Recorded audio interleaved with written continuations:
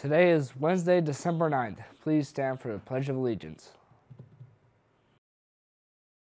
I pledge allegiance to the flag of the United States of America and to the republic for which it stands, one nation, under God, indivisible, with liberty and justice for all.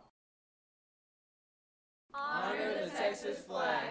I pledge allegiance to thee, Texas, one state, under God, and indivisible.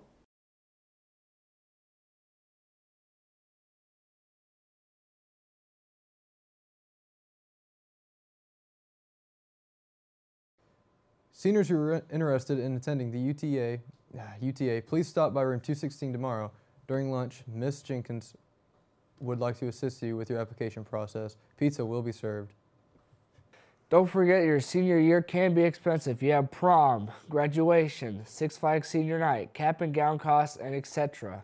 To help you cover these costs, you can now set up a payment plan with Miss Jordan in the registrar. This payment plan will be for your prom ticket and Six Flags senior night. Start making payments now to cover these costs. The girls basketball program is looking for some boys to make up a scout team for the program. To qualify, you must have a physical and you must not be in a current sport. You will be expected to practice and scrimmage with the team after school. If interested, please see Coach Kubasek in room 126 or see Coach Freeman. Senior t-shirts will continue to go on sale until Wednesday, December 16th. The cost is 10 per shirt or 15 if you want your name on it.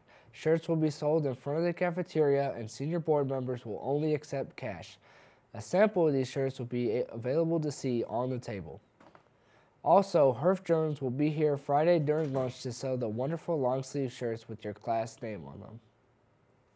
There will be two additional attendance recovery sessions held in room 249 after school from 3:35 to 5:35 today in Miss Price's room.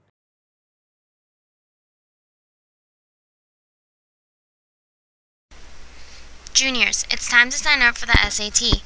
January 23rd is the last time you can take the current SAT. That means you need to register for it no later than December 28th. How do you register for the SAT? By mail or at this website. See your counselor or visit the Go Center for help with registration. Fee waivers are available for eligible students. Well, that's all we have for you today, Cougars, and have a wonderful, Wonderful Wednesday. Wednesday.